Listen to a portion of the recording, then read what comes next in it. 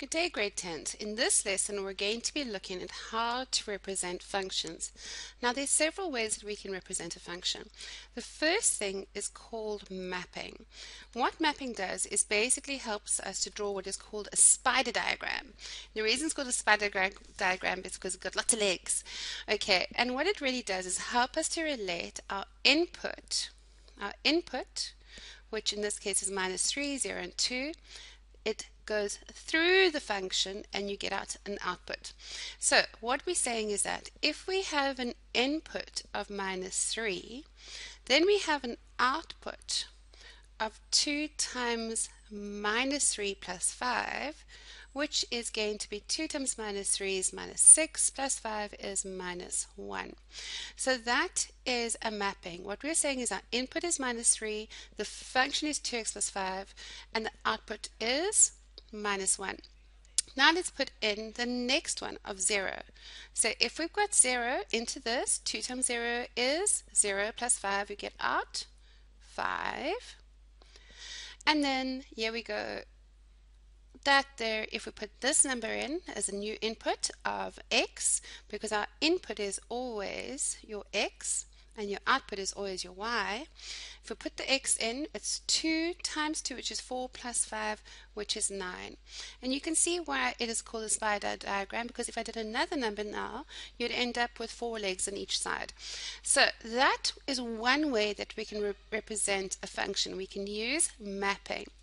Another way that we can represent a function is one that we've done already and it is using a table where we decide what our input is, number is and then we fill in our output. So again, if our input is minus 3, we've got 2 times minus 3 plus 5 which is going to be given as, given as 2 times minus 3 is minus 6 plus 5 is minus 1. So therefore we can write minus 1 here. Then if it's 0, 2 times 0 is 0 plus 5 is 5. And 2 times 2 is 4 plus 5 is 9. Now, these numbers here are called ordered pairs. In other words, we can write them as an x, y pair of points or set of coordinates. So in other words, this would be written as minus 3, minus 1, 0, 5, and 2, 9. So these three points are three sets of coordinates or three sets of ordered pairs. Now we're going to use this information to show you the third way that we can represent a function, and that is using a graph. So, so far we've got y is equal to 2x plus 5, and we've got our three ordered pairs. Now what we're going to do is we're going to plot our ordered pairs. So we're going to go across to minus 3 and minus 1 and draw a dot. We're going to go naught and up to there and join a dot and we're going to go to and up to 9 and join a dot. And then I'm going to try and do this on the thing. You guys will use a ruler to join your dots okay? So you won't have any of these wobbliness. And that is our straight line which is y is equal to 2x plus 5 so we can use our ordered pairs to draw a graph of a function. So even if you don't know what the function looks like, by using our ordered pairs and other information, we can draw the graph. Now, we can also describe the graph using things like domain and range. Now, domain is how far, effectively, it is how far the graph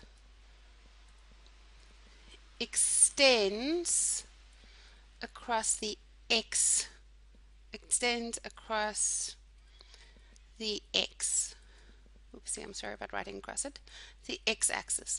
So in other words, we want to know how far this graph is going all the way. In other words, when does it end? Okay, but now if you look at these two arrows at the end, do you know what those two arrows mean? That means that this graph is going to carry on infinitely long that way and it is going to carry on infinitely long that way. That's what those arrows mean. There's no end.